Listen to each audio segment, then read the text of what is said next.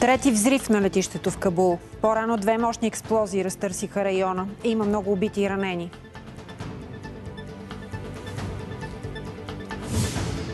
Президентът ще връчи утре третия мандат за съставяне на правителство на БСП. Лидерът на партията няма да е премиер. И смятам, че не бива да е нито един от политическите лидери на партиите. Едното дете легна на пешеходната пътека. И аз в първи момент си помислих, че падна, но тогава до него легна и второто дете. Опасни тик-ток предизвикателства сред тинейджерите.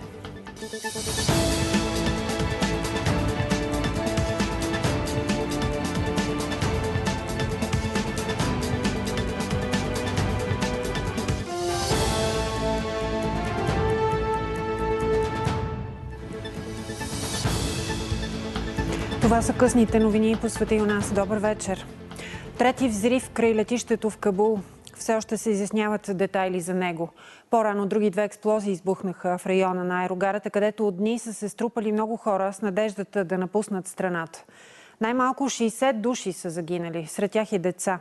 Загинали са 12 американски военни. Ранените са повече от 140. Отговорност за атаките по Ислямска държава. Телеграм канала си групировката публикува снимка на атентатора. Талибаните осъдиха нападенията. Има предупреждение, че в района на летището са възможни и нови нападения. Късния следобед районът около летището в Кабул е разтърсен от експлозии. Появиха се съобщения за стрелба в района. Единият взрив е край хотел Баран, вероятно дело на атентатор самоубиец. Другият е край един от изходите Абигейт, място от което се извеждат пътници за евакуация. Там вероятно е избухнала кола бомба. Тази зона се охранява от британски и американски военни, а хотелът, обект на атаката, се използва като сборен пункт за британци и афганистанци, които се готвят да напуснат страната. Говорител на талибаните съобщи за загинали деца и талибански бойци, охранявали летището. Имаше ранени и чужди военни. Хората започнаха да бягат, ние също. Експлозията беше много мощна. Експлозиите програмяха след серия от предупреждения от различни държави за очаквано неизбежно нападение. В момента на взривовете и след тях на летището в афганистанската столица продължава да има множество хора, очакващи евакуация. Това е първият сериозен инцидент, откакто талибаните поеха контрол над страната преди 11 дни. Техен представител осъди атентатите и добави, че те се случват заради присъствието на чужди военни.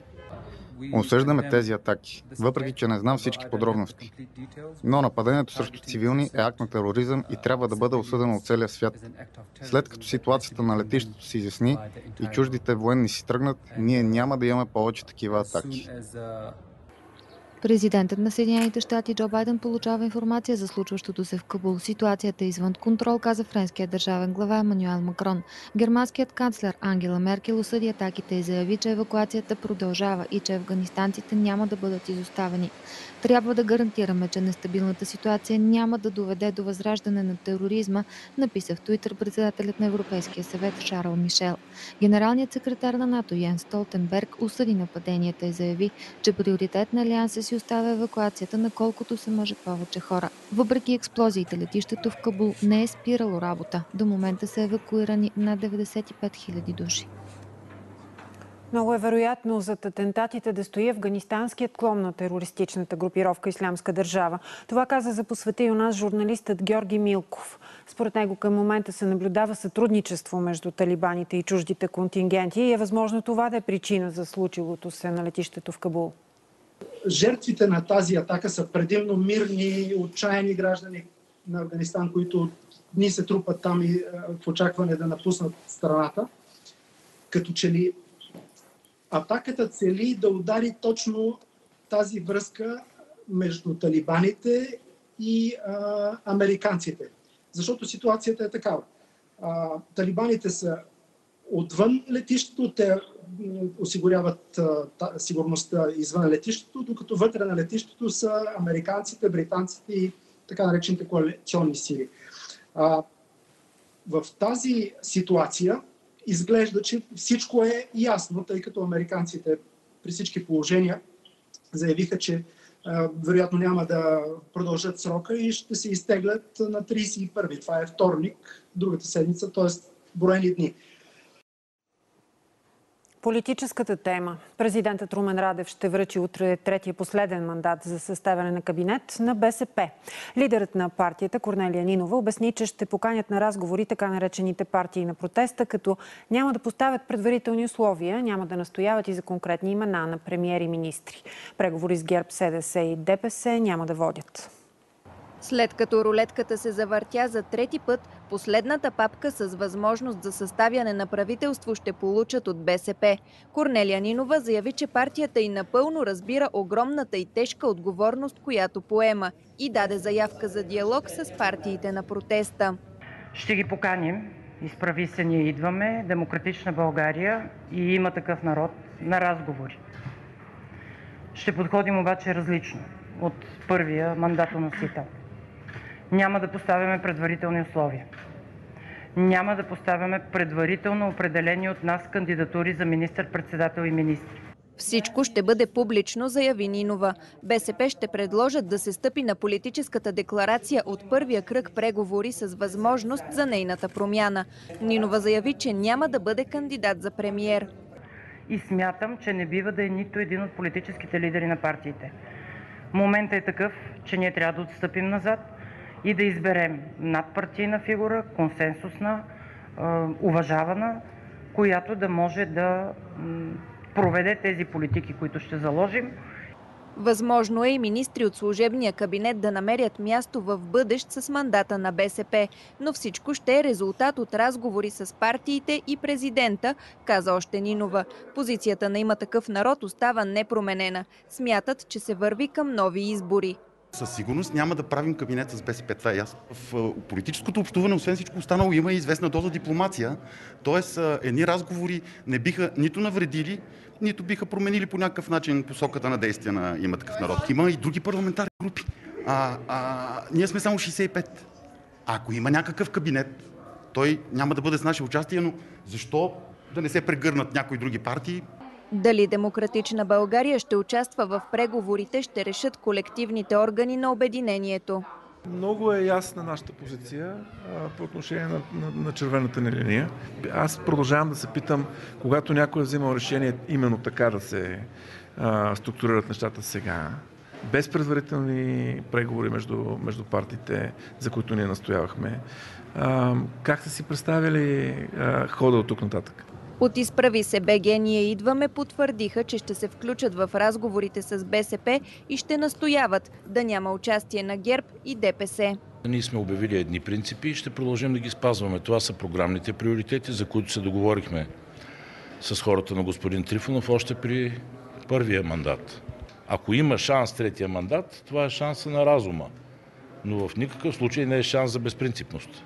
ГЕРБ СДС потвърдиха позицията си, че няма да подкрепят правителство с мандат на БСП. Съвсем закономерно е а, господин Радев да връчи третия мандат на БСП. Все пак Корнелия Нинова а, го договори с а, външни сили и други генерали.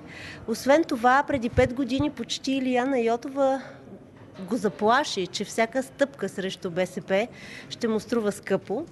А, очевидно е и друго че господин Радев не желае да има редовно правителство.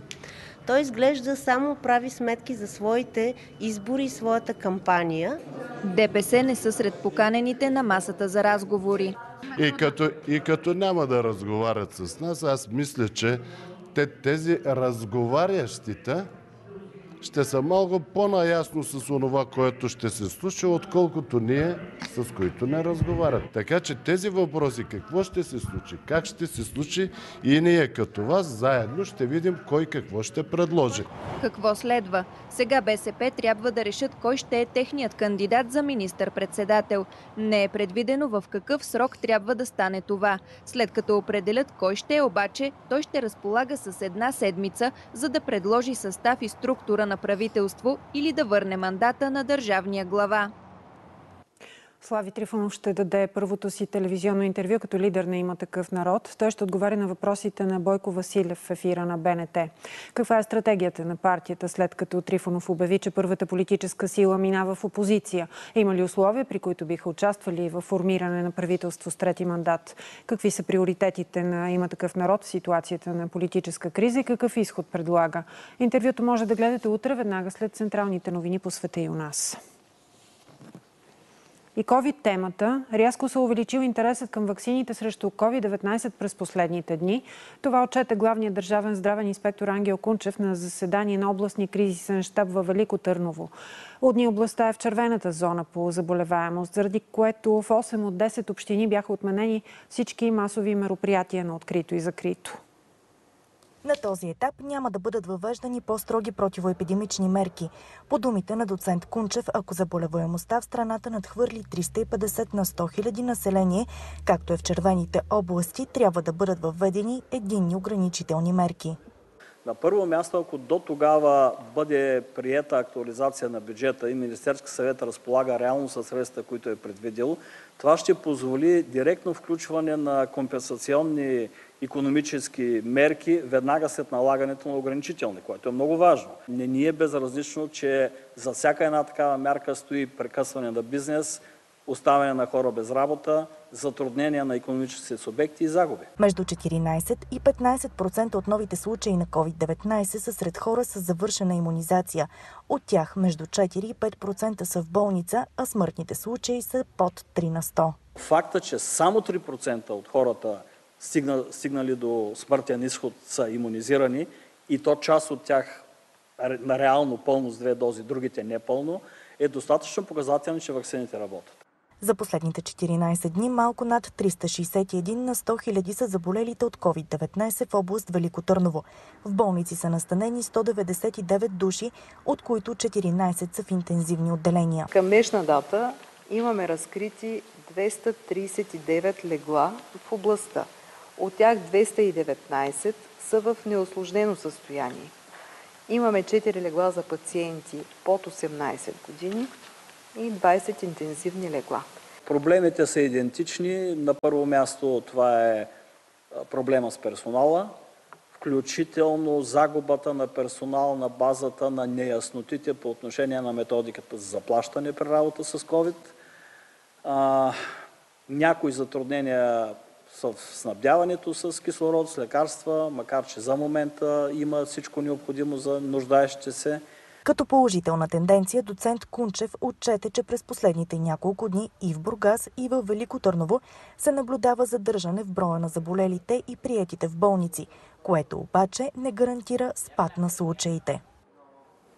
Кметът на София Йорданка Фандъкова е притеснена, че националните мерки срещу коронавируса могат да се различават от приятите на регионално ниво. Тя се надява учениците и децата в детските градини да останат максимално дълго присъствено в клас, защото според нея последиците от липсата на контакти и социална среда са непреодолими. По думите и всички столични училища са готови да преминат на онлайн обучение, но се надяват да не се стига до там. Сега това обърква хората, когато има някакви мерки, които са предвидени, пък после се започва разсъждение кое на локално, кое на национално ниво. Това лично мен ме притеснява. В същото време, вие знаете моето мнение, максимално присъствено обучение на децата в училищата, присъствие в детските градини, защото за децата това е важно. Това ще бъде вече трети сезон, трети, трета учебна година, а, така че максимални усилия за вакциниране на учителите, на големите деца, разбира се, апелираме към родителите. Отново инцидент в уражение завод Арсенал Казан Лък. Работник загина при пожар в един от цеховете. Инцидентът възниква малко след 13 часа, когато се получава запалване в цех 140 на завод 3. То бързо прераства в пожари, пали и склада, в който са се съхранявали взривни материали. В него е имало двама работници. Единият успял да избяга, но за съжаление другият, 56 годишен мъж, загива. Двамата са товарили барутни ленти, за да ги транспортират към производствения цех. Загиналият мъж е започнал работа в оръжейницата преди 3 месеца. Работи се по всички версии за инцидента. Имало е взривни материали, и на база на възпламеняване на взривните материали е възникнал пожара с причинени имуществени, имуществени вреди също така. Оборена е покрива на, на склада с обгоряването. А работниците извършват се дейности, които са отваряне на, на, на, на взривни материали. Ще се прецени от наблюдаващи прокурори, от мен, като изпълняват за окръжен прокурор, дали да се предложи на главен прокурор да се възложи делото на Национална следствена служба.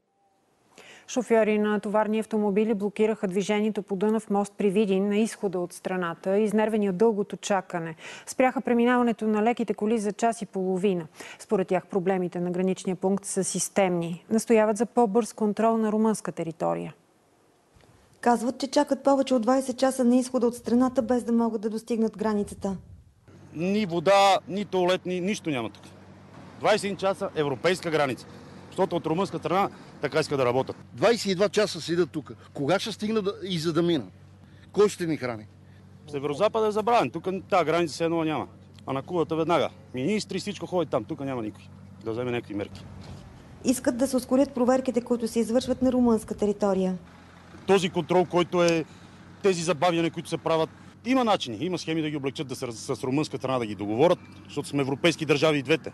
Според нас проблема е кантарите румънските, които ни проверяват. Ако изключат кантарите или преместят кантарите, ще бъде много по-облегчено движението. То си пише колко кантара, кой колко е тежък, кой колко е натоварил. За кратко се стигна и до пререкания с пътници от спрените на Дунав мост леки автомобили. Аз не ви нападам, аз ви моля човешки да ни пуснете да минем. Малко Това ви моля ви човешки. Няма да нощуват тук. Малко внимание да Ама вниманието, мислите ли, че тук на шосето може да ви се обърне? Не ни обръща къде. От месеци опашката от тирове на граничния пункт с Румъния е по над 10 км. Една от причините е по-големият брой автомобили, които преминават. Само за последната година трафикът се е увеличил с 15%. Пенсиите от октомври ще се увеличат средно с 12,5% или 64 лева. Това решиха депутатите, които приеха на първо четене актуализацията на бюджета на Държавното обществено осигуряване. Повече пари ще има и за болниците, както и за медицинска помощ в домашни условия.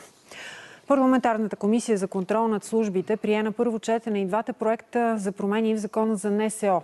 Проектите са на има такъв народ и изправи се БГ, ние идваме, като с тях се предвижда ограничаване на кръга от хора, които използват охрана от службата и специализиран транспорт. Според текстовете, НСО трябва да охранява само тримата големи – президента, премиера и председателя на Народното събрание.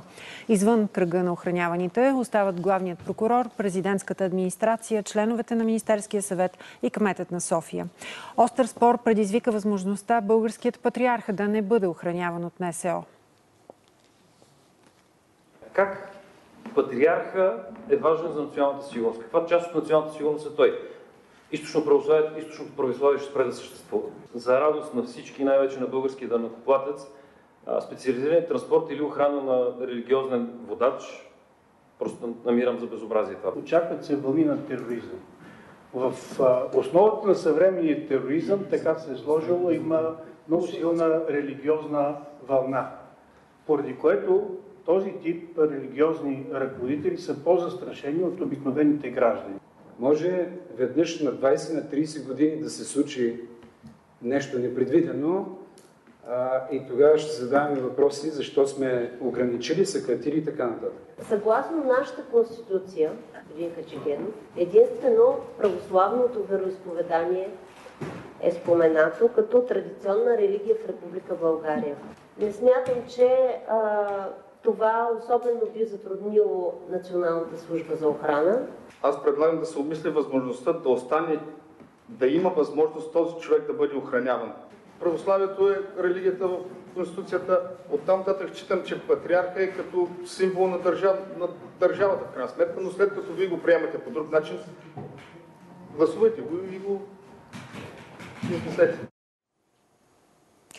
България ще задълбочи партньорството си с Европейската организация по публично право в областта на върховенството на правото, правосъдието и укрепването на институциите. Това заяви президентът Румен Радев на среща с ръководството на организацията. Страната ни ще засили обмена на информация както с държавите членки на Европейския съюз, така и с други партньори за повишаване на ефективността в борбата с корупцията, прането на пари, нерегламентирания износ на капитали, недекларираните имоти в чужбина. За ново опасно предизвикателство сред деца и тинейджери предупредиха от полицията във Велико Търново. Преди дни момичета на възраст около 12-13 години са били забелязани да лягат върху пешеходните пътеки в Горна Оряховица. Момичетата и родителите им все още се издирват. В началото на седмицата Ирина Донева става случайен свидетел на това как две деца лягат на една пешеходна пътека в Горна Оряховица, а срещу тях се задава кола. Едното дете легна на пешеходната пътека. И аз в първи момент си помислих, че падна, но тогава до него легна и второто дете. Всичко се случи за една-две секунди и после станаха и се върнаха пак на тротуара и вече аз преминах с колата си, но пак казвам, че а, предполагам, не твърдя, че е TikTok предизвикателство, но тази тенденция сред децата мен лично ме притеснява много.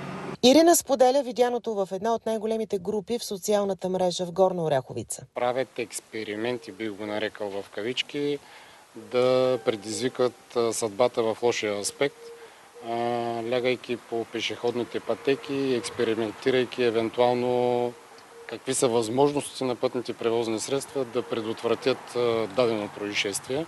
Постът и предизвиква вълна от коментари. От полицията се самосезираха и започнаха издирване на децата и родителите им. Грози ги административна санкция по закона за движение по пътищата. Няма как да остане ненаказан, ненаказано лице, което а, нарушава закон за движение по пътищата. Според психолога Десислава Василева, изключително важно е родителите да бъдат запознати с тенденциите в интернет пространството сред децата и често да разговарят с тях за рисковете, които крият подобни предизвикателства. А това е една специална възраст, в която те все повече се отдалечават от своето семейство, искат да се утвърдат като самостоятелни личности и по този начин търсят популярност. За разлика от възрастните, екзистенциалните страхове при децата почти липсват и не преценя реално опасността, която може да се случи. Според Флора, един от най-актуалните инфлуенсъри у нас сега, подрастващите обичат екстремни предизвикателства, за да натрупат повече гледани и последователи в мрежата. Но забравя, че това е изключително опасно. В никакъв случай не, не трябва да го правят. Първо, защото е опасно за живота, очевидни а, нали, причини.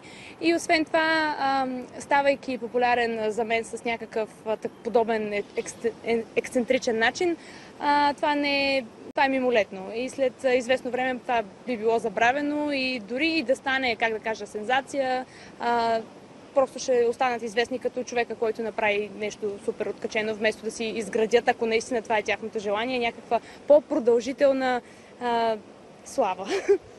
Преди началото на учебната година от полицията започват и информационна кампания съвместно с училища в област Велико Търново за рисковете, които се крият в мрежата. Така завършваме. Спокойна вечер.